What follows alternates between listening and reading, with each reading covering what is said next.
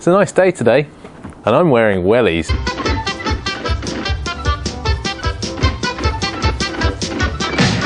And that's all I really wanted to say. Not really. So there's been no trains running for a while. Uh, but there's no reason why at any point I can't come out here with a track rubber and a brush and get some trains running. And I thought I'd do that today, just for fun. And also because I've just finished making two new shunters.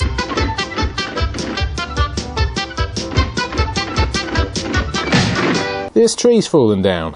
I'm going to have to pull it up, I think. Uh, I don't know quite how that happened. Now this is the bit I always dread, tree corner. It's such a mess this time. I've got to sweep the whole thing out.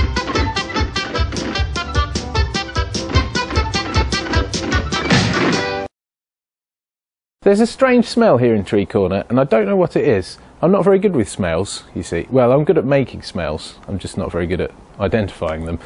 But anyway, I've, I've cleared out Tree Corner and uh, in theory the line should be all up and running now and I have managed to get um, a loco to kind of stutter along the track but I think to be honest it's too damp out here and that's stopping things working properly.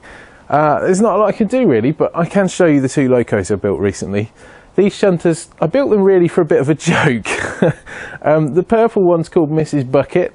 It has a lady driver, and the other one's called Rust Bucket, and uh, you can probably see why.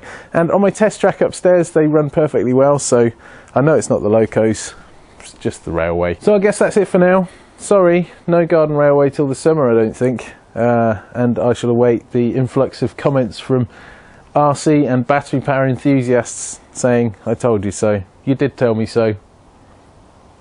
What can I do?